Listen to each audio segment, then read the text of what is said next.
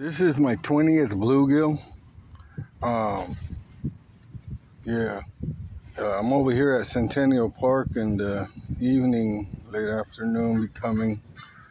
But we're gonna go ahead and release him and try to release himself early. There we go. And that's that. My 20th bluegill. Caught this nice uh, one and a half pound bass. Uh, I'm gonna go ahead and release it. I'm over here at Miles Square Park again, first thing in the morning, five o'clock, on a drop shot with the one and a half inch mini lure. There he goes. This is my fourth bass right here at Miles Square Park. I got here early in the morning when the sun came up or before the sun came up, but I'm gonna let this guy go.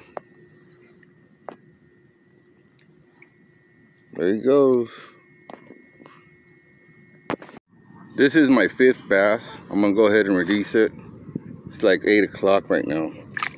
He's gone. This is my fourth bass tonight.